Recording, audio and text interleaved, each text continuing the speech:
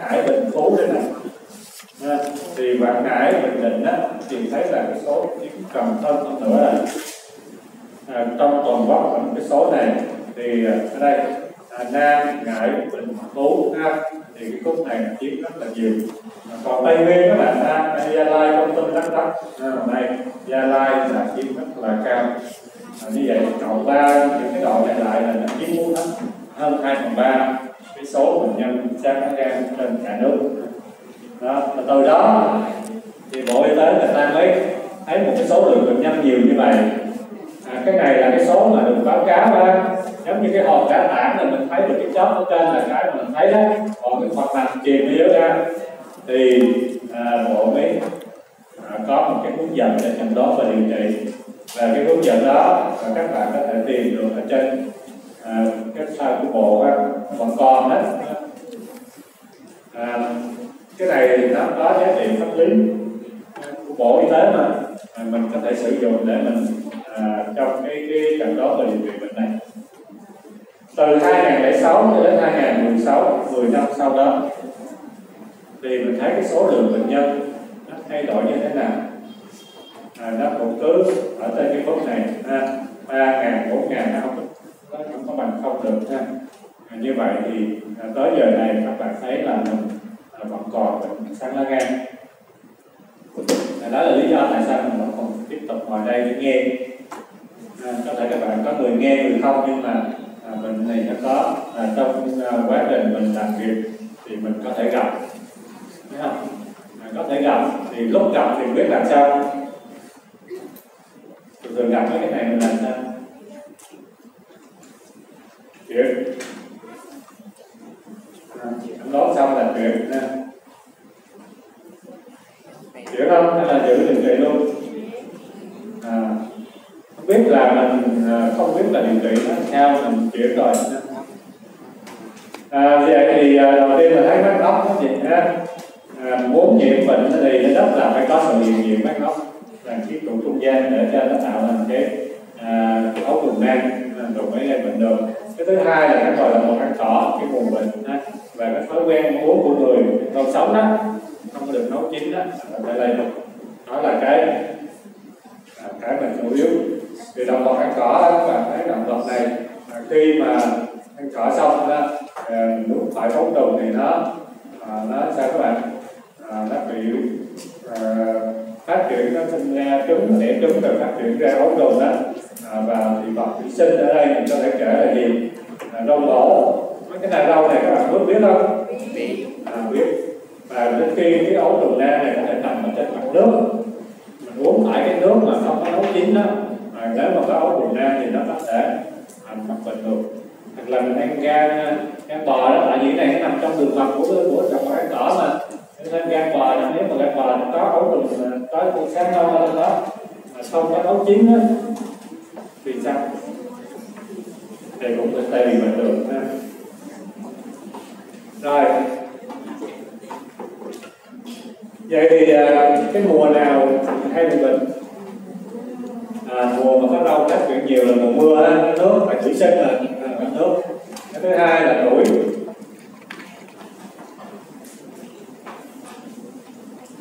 tuổi nào thì có thể bệnh các bạn. Trẻ em có không? Các em nó bị sao mà bị à ăn rau sống nhưng mà nếu mà bỏ vô trong uh, cái gì đó cái máy xay đó mình xay nó có chết không? Rau thì có thể nhiễm ra nhưng mà con sáng thì nó có chết.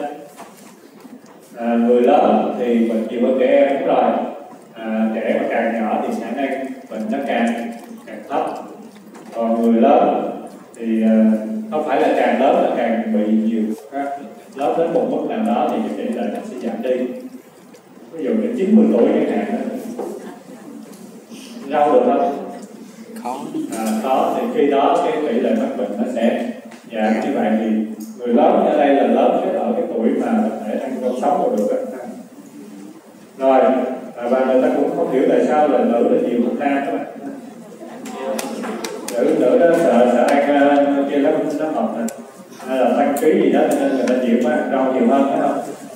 Mình cũng biết ở ở trong nhiều nghiên cứu thấy là phụ nữ á mắc bệnh nhiều hơn nam.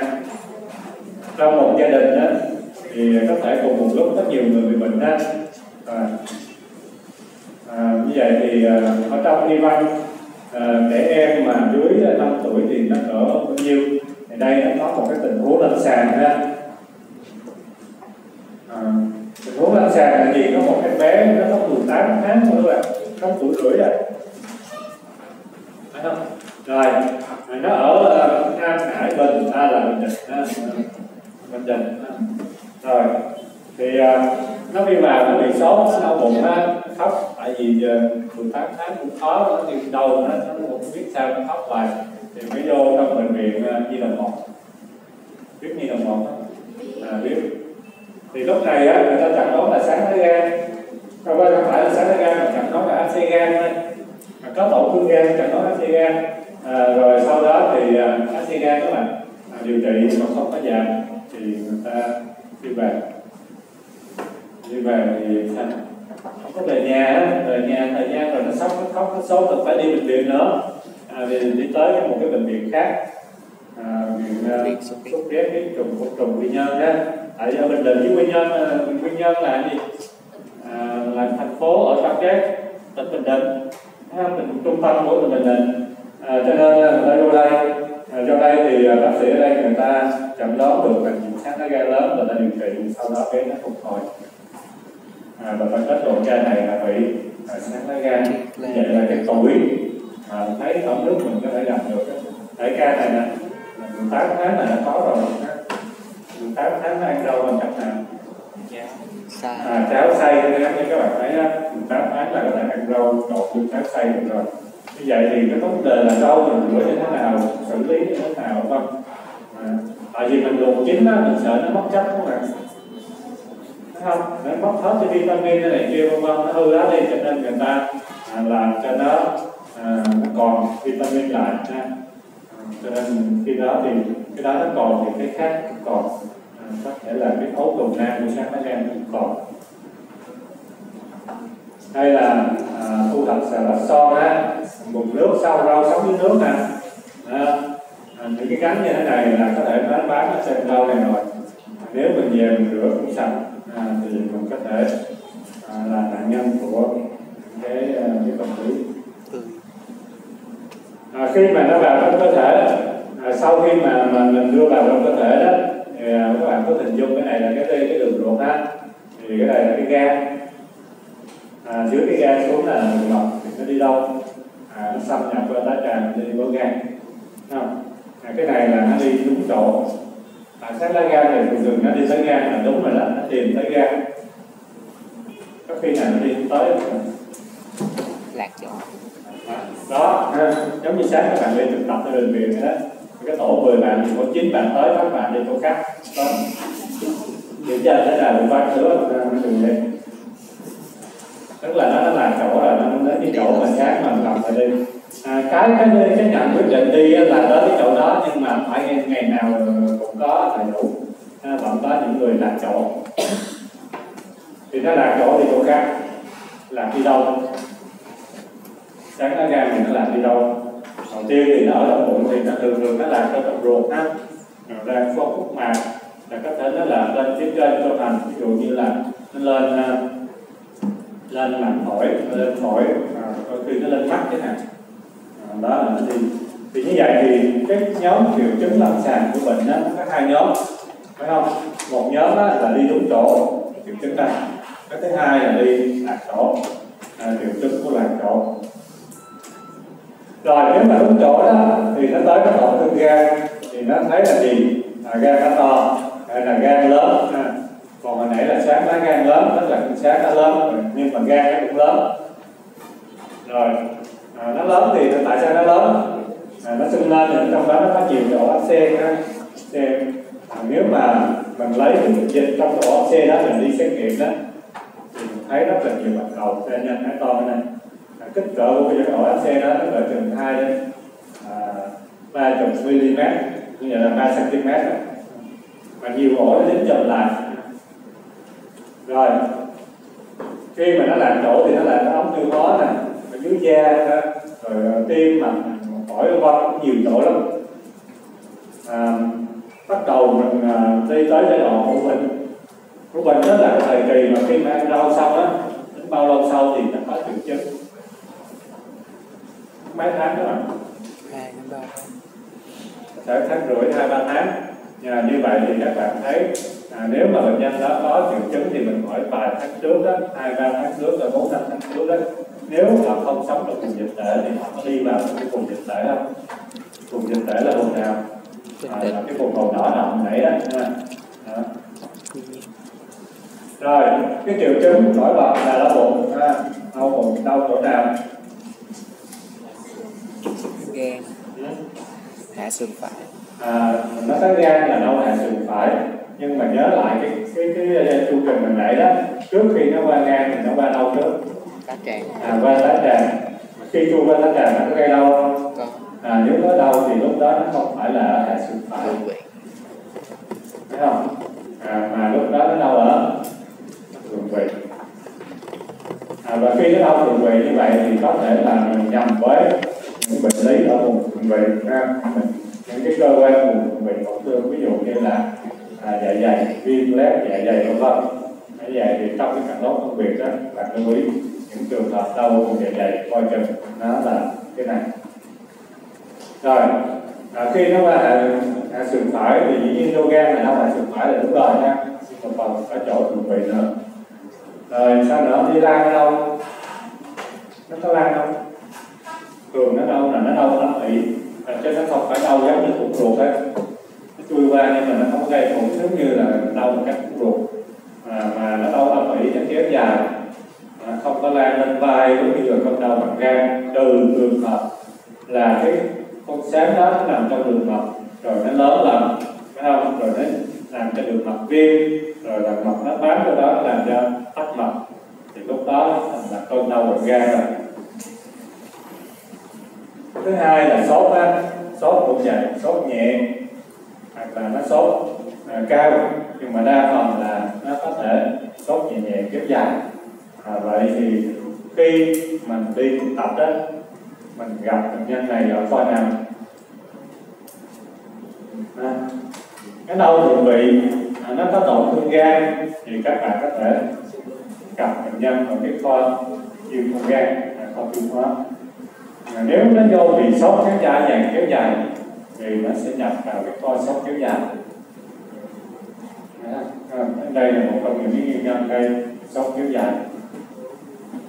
Ngoài ra thì nó có những triệu chứng khác ví dụ như là à, rối loạn tiêu hóa là ngứa là suy nhược là ho đau ngực khác, là tùy theo cái vị trí của sáng mình khám thì mình có thể thấy gan to có thể lắm to ha. Đây là những triệu chứng mà mình có thể gặp ở trên bệnh nhân à, sáng lá gan. À, tuy nhiên cái triệu chứng này nó ít gặp hơn là sốt và đau bụng. Nổi bật nhất vẫn là đau bụng và sốt ha. Còn những trường hợp này thì à, nó ít gặp. Và chủ yếu là những bác sĩ làm chuyên khoa thì người ta nhìn nó nhanh hơn. Rồi qua giai đoạn tiềm ẩn khi mà nó tổn thương gan xong rồi nó qua giai đoạn đường mật thì lúc đó cái gan nó hết rồi. Nó sống được trong đường mật. Thì có thể kéo dài được có 10 năm lúc này thì nó không có triệu chứng lâm sàng.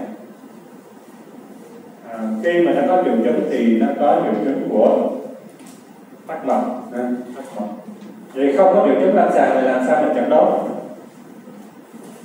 à, mình xét nghiệm máu ha, mình thấy bạch cầu echo nó tăng. Mình siêu âm thì mình có thể mình thấy cái à, hình ảnh con sáng trong đường mật. Thấy được không? Hay là chỉ thấy hình ảnh cuối đường mật nó giãn thôi thông thường mình thấy được cái hình con sáng trong trường hợp là phải qua CP còn siêu âm biết thấy cái này đó à, muốn chặn đó thì mình hút cái, cái dịch vật đó mình tá tràng đó là nó tìm đúng. Cái này nó để đúng được rồi hoặc là mình à, có thể xét nghiệm phân giai đoạn này là xét nghiệm phân được đây. Giai đoạn sáng tiền nằm thì mình chẩn đoán là xét nghiệm phân tại vì lúc này là sáng nó nằm ở trong đó thì đúng được rồi thì, thì xét nghiệm phân được rồi ha rồi, khi mà nó tắt đường lọc thì cái này là các bạn nhìn vô cái bảng này, kỹ như vậy. Thì cái này là những chứng của nhiễm trùng đường mật thấy không? Sốt rồi đau rồi bụng đau hạ sườn phải rồi ha bụng đau vân. Hay là do tắc mật và nhận nhận đến nhiễm trùng đường mật nhiễm trùng đường mật này thường do gì? Do gì các bạn nó tắc mật thì vi trùng ở dưới đường ruột nó đi lên nó gây nhiễm trùng phải không? Như vậy thì trong quá trình điều trị táo do đường này thì không phải chỉ có điều trị sáng lá gan không. Mà phải điều trị cả cái nhiễm trùng nữa và còn nữa là phải can thiệp ngoại khoa. Tại vì nó tắt rồi làm sao mà nó thông thì nó mới thoát được đúng không? Còn nếu mà nó chưa thông thì cái nhiễm trùng đó mình cho cho thuốc nó cũng không có đáp ứng rồi một số cái chỗ mà nó làm ví dụ như nó ra một khối u ở đây à, nó là nó làm trong thành ruột thì mình nhầm với cái gì? À, thấy cái cục này nhầm với lại u gan đó. Rồi nó đi ra da ví dụ đây đó nó ra da nó đi mình nghèo đây à, before treatment là sau khi mình điều trị xong là nó đó. What treatment là sau cái điều trị ha đây là sau điều trị đây trước điều trị đây không đó nó đi làm vòng này là sau khi điều trị xong rồi. Nó đi ra da nó thay vì gan nó thực ra sáng á, thì có thể là nó đi mình đốt phải không phải là một con. Phải không? Mà một một nhiều con. À, giống như nhận các bạn tới thì thực tập thì phải một bạn. Mà còn nhóm, nhóm bạn thì có nhóm là đi đúng chỗ giống như làm chỗ vậy đó. Cái nhóm mình làm chỗ thì cái chỗ đi ra da đây à, không? À. phải vậy không? Rồi đi chỗ khác nữa. À, vậy thì à, để chẩn đoán thì mình dựa vào triệu chứng. À, triệu chứng đi đúng chỗ là sốt đau bụng đó. Lạc chỗ thì đi tới chỗ nào thì lạc chỗ nào thì mình có triệu chứng ở đó. Ví dụ như ở, ở da hay là ở trong đại tràng mình có cái khối u đó là cái khối u vậy thì để chẩn đoán bệnh này, mình dựa vào cái gì?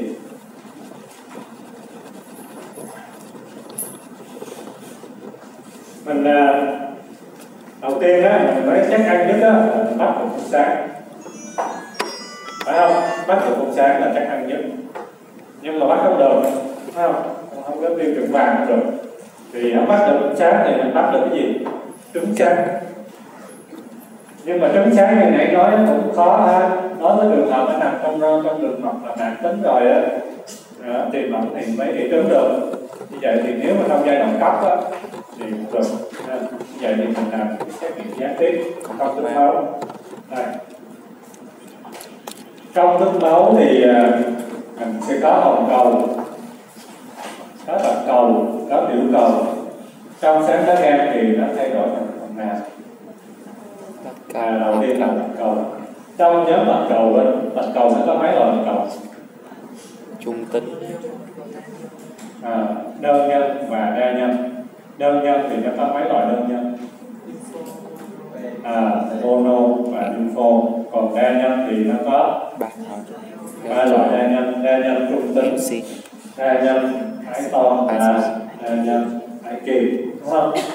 Thì trong sáng lá gan trong bệnh sáng lá gan này bạch cầu nó tăng. Chủ yếu là bạch cầu gan nhân ái to trong cái công thức máu là trosilphin rồi cái thứ hai là hồng cầu.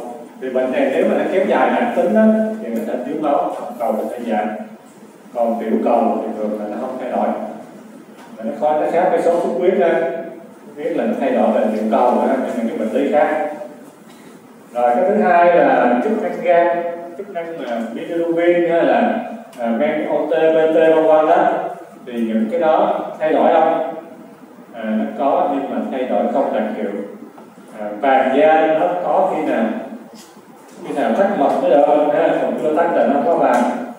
À, như vậy thì mình dựa vô chức năng gan chứ không chậm đoán được tại vì thay đổi nó nhiều nó không đặc hiệu. Siêu vâng à, siêu âm hình siêu âm thì mình thấy ở hình đây là có tính chất nhân họ lên nhé. À, nhưng mà à, cái hình ảnh người ta đọc đó là hình nam nè với cô trống hoặc là hình cô hỗn hợp à, đó. Tổng hợp thì nó có nhiều cục nhỏ nhỏ đó cho nên người ta dễ nhầm với u gan nha bị u gan các bạn thấy thì cái gan này nó nhiều cục nè nhiều cái tổn thương như thế này. Vì nó rải rác. Khắp cái gan các bạn phải không? Rồi nó khắp cái gai như thế này đó thì các bạn thấy là sao mình chọc được? Chọc được không? Hay là mình thuốc mà tiêu rồi cái này á là à, phát hiện được tổn thương nhiều ổ ha tổn thương nhiều ổ thế này. À, và có thể mình thấy được cái con sáng ở trong vùng vật được. À, dĩ nhiên chụp mấy cái này thì nó mắc tiền hơn là siêu âm nên mình ảnh nó thấy rõ hơn à, cái thứ ba là mình làm cái thanh cận đón đó. cái thanh cận đón thì mình cái thanh cận đón là vascular à, cái thanh cận đón này là cái lớp khi rê đó mà à, khi mà nó xâm nhập vào trong cơ thể thì còn hai đến bốn tuần sau thì nó mới dương tính đó à, tức là cái cái uh, sáng nó xâm nhập vào đó thì các thể nó mới dương tính à, dương tính thì mình có thể mình thấy được cái hiệu giác có thể à, nó tăng lên à, mình làm cái thanh cận đón là có thể chặt đón được nhưng mà vì nó là lớp IgG cho nên nó tồn tại nhanh à, lâu. À, vì nó lâu cho nên khi mình điều trị nó hết á, hết bệnh rồi á thì cái này nó âm chưa? À, nó vẫn chưa âm à, vì nó chưa âm cho nên mình làm lại nó vẫn còn còn dương. Còn dương không có nghĩa là còn. nó vẫn còn đang tiến triển thấy không? Cho nên đừng có bạn nào nói là xét nghiệm nó dương tính vậy là nó còn cho nên chữa không hết à, là bác sĩ này chữa dở quá cho uống thuốc. À, thì uống cho đến bao giờ cho nó âm thì mới thôi. Thì cái đó là quan niệm sai. À, vì sao các bạn? Vì nó là đi ra ra cho nó âm đứng lâu lắm hai ba năm sau nó mới âm đó. Còn nếu mà mình cứ uống thuốc hoài như vậy đó thì khi bệnh nhân chết vì chết vì thuốc chứ không phải chết vì bệnh đó. Rồi và đó là cái thanh chẩn đoán là tìm kháng thể cho nên những cái trường hợp mà bệnh nhân có rối loạn miễn dịch đó tạo kháng thể bất thường đó thì mình làm được kháng thể dương hoặc là nhiễm những cái con sáng khác. Ví dụ như sáng dậy lợn là sáng lá phổi sáng máng gì đó thì nó vẫn có thể có thể dương tính. Thì giờ trong những trường hợp đó là dương tính. Giả rồi trong giai đoạn của bệnh trong giai đoạn cấp trong giai đoạn sáng làm chỗ thì nó có thể dương được. Khác với trứng ấy, trứng mà làm chỗ là nó không có trứng đâu nó làm chỗ là sao để trứng trong đường mập được. Phải không? Làm chỗ là không được. Rồi trong giai đoạn cấp thì uh, tìm trứng không ra nhưng mà cái thanh trình đó thì nó bằng dương rồi. À, bây giờ là tìm trứng à, thì vẫn có những trường hợp nó dương chứ phải không? À, tuy nhiên cái tỷ lệ nó thấp tại vì nó có thể bị nhiều đợt đợt đầu cho có thể là trưởng thành nằm đó và đợt sau à, những cái đợt mình nhân tới với mình đó là có thể là đợt sau. Thì phía trước đó nó, đã nhiễm rồi nó điện chống được rồi. Thì trứng thì mình sẽ tìm bằng phương pháp là định tính và định lượng. Định tính là trả lời là gì? À, có hay không và định lượng là số trứng trên một đơn vị. À, đơn vị định tính đó, ví dụ như là một gam không chẳng hạn. Đó, rồi đây là những đặc điểm của trứng tức là người không phải là cái ký chủ chính mà là ký chủ tình cờ, cho nên ánh sáng nó phát triển cái điện trứng không nhiều. Cái thứ hai là gì? Trong giai đoạn cấp thì nó chưa đủ trưởng thành để nó điện trứng mà mất chừng 3 đến 4 tháng nó mới điện trứng được. Như vậy thì trong vòng 3 đến 4 tháng đó có thể bệnh nhân tới tới với mình rồi. Trước khi nó hệ trứng cho nên tìm nó không ra à, trứng mà khi mà con sáng làm chỗ đó như la da thì sẽ dễ tưởng tượng không? Và mình đôi khi người ta nhầm với lại trứng mà cho thức ăn mang vào đó. Tại vì thấy đường kêu khó là mình nuốt phải cái trứng từ à, cái ăn đó. À, ví dụ như mình ăn sản phẩm từ là một cái cỏ đó trâu bò này đó nó từ từ cái con đó. Nếu mà nó mà dính trứng ở con sáng đó nó đưa vào trong cơ thể người thì sau đó mình xét nghiệm mình thấy nhưng mà nó phải trứng từ bệnh nhân. À, trường hợp đó là dương tính nhưng mà dương tính giả. Rồi ở đây là một cái một cái nghiên cứu. À, nghiên cứu thì mình đọc được không? Thấy không? Thấy. Nó nói gì trong đó điều tra nói gì các bạn? Đọc thử rồi nó nói gì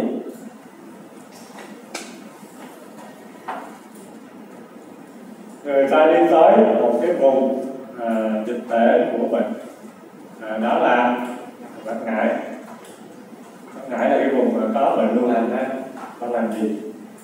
À, người ta muốn nghiên cứu coi thử là những cái người mà không có triệu chứng gì hết á không có triệu chứng lâm sàng gì hết á thì có nhiễm sáng lá gan hay gì nhiễm sáng lá gan nãy giờ mình có triệu chứng đau sốt vậy đó.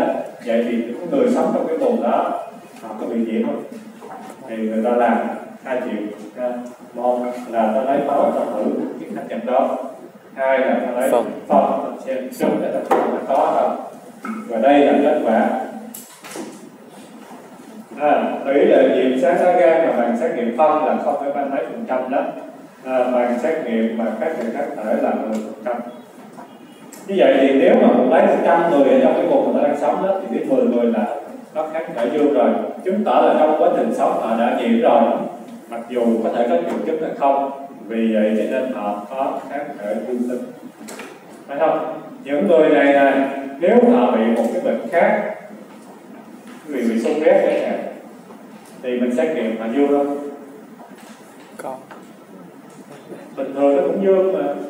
Cho nên khi mà mà họ bị một cái bệnh khác thì mình xét nó dương không nó bật dương phải không? Nó dương đây là dương cái gì? Dương cái chất xám lá gan đó phải không? Cơ thể làm nó sẵn rồi. Và khi mà nó vô như vậy đó mình xét nghiệm mình xác định là à, có dương tính với sáng lá gan thì mình chẩn đoán bệnh nhân này nhiễm sáng lá gan gây sốt gây đau bụng thì đôi khi là nặng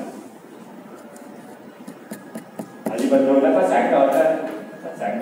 Như vậy thì cái tỷ lệ những cái vùng sai bệnh lưu hành đó nó có chừng 10 phần trăm là nó có tỷ lệ khách chẩn đoán dương tính như vậy không phải tất cả những cái trường hợp nào mà cái khách chẩn đoán dương tính đều có nghĩa là bệnh nhân đang mắc bệnh à, đang mắc bệnh cấp tính là mình. Tới đó có thể là nó làm những cũ rồi à, những xét nghiệm khác ví dụ như mình à, làm PCR muốn cấy gì đó thì nó cao cấp hơn. À, đó là à, mình sẽ tìm chỗ khác. Trứng à, trứng là à, có thể trong phân hay là trong à, lúc mình nội soi mà bị ngược dầu đó à, mình, mình có thể bắt được trứng à, hoặc là sáng non qua à, da. Còn biến chứng đó là à, nó to nó gây tổn thương cái đường mật như vậy đó, thì nó có thể làm cho xuất huyết gây thiếu máu hoặc là nó làm cho tắc mật như vậy thì nó sơ gan uống mật. À, nhưng mà có một cái điều mà các bạn lưu ý là cái này không có gây viêm gan ung thư gan giống như là của viêm gan siêu viêm gan viêm ha. nếu hai ra những cái, cái cái tác nhân đó mà nếu mà mình không điều trị đó thì có dẫn đến u gan. Còn cái này là nó chưa có bằng chứng. Nếu mà tắc mạch thì cái đây chỉ trùng đường mật thôi đó. Còn cái chứng gì nữa không? Hay là những cái biến chứng mà có thể gặp ở người bị à, sáng lá gan đó. Bây giờ mình chặt đó còn mình chặn đó là làm sao? Nói mình chặn đó mình nói ngắn gọn thôi. Vậy là trong đó dựa trên lâm sàng và cận lâm sàng. À đúng không? Đầu tiên là lâm sàng. À, dịch tễ. À, dịch tễ lâm sàng có gì? À, lâm sàng là có triệu chứng sốt rồi đau bụng rồi triệu chứng ở gan tiếp và dịch tễ thì có đi từng đi qua các vùng đó mà là sống ở các vùng có nguy cơ nhiễm. À. rồi à, tiền căn và từng ăn rau ăn thường ăn rau thủy sinh. À, rau thịt xịn cái này hơi khó ha. À, thường thường ai cũng ăn hết. Tiền căn là tiền căn có hai cái loại tiền căn một là tiền căn bản thân Gia và đình. tiền căn gia đình Đúng không? bản thân thì người đã từng mắc này. bị chưa? hoặc là gia đình có nhiều người bị từng bị hay là đang bị hay bệnh chung. Gì nữa? Sàng à, còn lâm sàng Dạ. Còn lâm sàng mà có gì phạm gì và uh, huyết thanh với lại ờ, có thể soi phân bữa đầu tiên mình vô mình làm công thức máu chứ xét nghiệm máu trước chứ phải không? Bệnh gì cũng làm công thức máu trước chứ công thức máu. Cận thức máu rồi. tìm gì trong đó? Dạ kia thì bạch coi bạch cầu bạch cầu ái toan à, rồi công thức máu để coi bạch cầu hải toan nó có tăng không dạ. thứ hai. Dạ hồng hồng cầu thì coi có thiếu máu hay không? À, rồi nói chung là cái trong thiếu máu thì mình coi hai cái đó. Rồi cái thứ hai cái xét nghiệm này là gì? Một là công thức máu hai là gì? Dạ hai là huyết thanh. Huyết thanh gì? Huyết thanh đoán huyết tìm Fasciola à, Fasciola hepatica Fasciola gigantica. Dạ ở Việt Nam thì là tìm Gigantica. À, hai cái đó không phân biệt được bằng huyết thanh chẩn đoán các bạn. Cho nên là huyết thanh chẩn đoán Fasciola là HFB đó là cái basic cái loại basic ha. Rồi huyết thanh chẩn đoán không phân biệt được cho nên mình nói là huyết thanh chẩn đoán Fasciola là được rồi. Thứ ba thứ ba là cái gì? Tiền chứng sản phẩm. Một là công thức máu thứ hai là huyết thanh chẩn đoán thứ ba là gì? À, siêu âm hoặc là CT scan. À đúng rồi. Siêu âm hoặc là CT scan một. À, cái bộ CT scan mình nó chung chung không biết chỗ nào á. Ở đây là mình đang nói với cái gan thì mình phải dùng siêu âm à, phải siêu âm bụng bụng mới được ha. Còn siêu âm tim là mới thấy nữa rồi siêu âm bụng rồi hết chưa?